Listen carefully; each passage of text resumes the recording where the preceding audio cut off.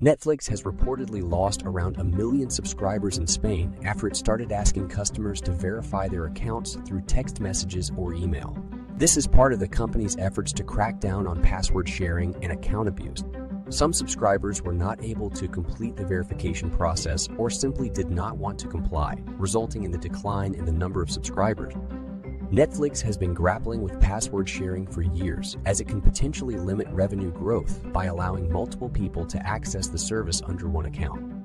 The move to verify accounts is not new to Netflix, as it has been testing this feature in select markets since 2019. The company has also been exploring other ways to prevent password sharing, including the use of two factor authentication and personalized profile pictures. However, the measures have received mixed reactions from subscribers, with some expressing concerns over the inconvenience caused by the verification process and others welcoming the move as a way to protect their account. Netflix has been investing heavily in content and technology in order to stay competitive in the streaming industry. The company recently reported that it added 4 million subscribers in the first quarter of 2021, bringing its total subscriber base to over 208 million.